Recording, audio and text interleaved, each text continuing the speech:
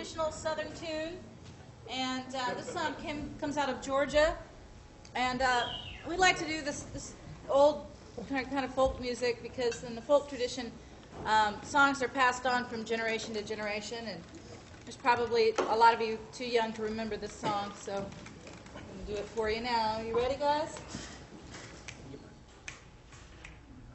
One, two, one, two.